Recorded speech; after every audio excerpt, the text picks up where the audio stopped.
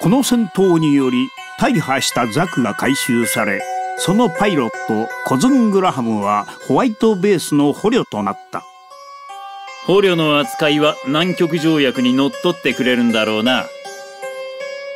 一方無断出撃の罪により独房入りを命じられたセイラは兄キャスバルの消息を探りたい一心から捕虜コズンに接触する。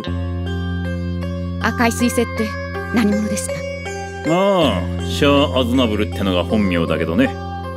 オタクらがガルマザビをやった時奴は守りきれなかったってんで失脚したって話だ。そんな中ホワイトベースは進路上にジオンの鉱山基地を捕捉正面突破を試みようとしていた。その混乱に乗じて独房からの脱走を図るコズンはお前ジオンの人間だな一緒に逃げるんなら連れて行ってやってもいいんだぞ。勘違いなさっているようね。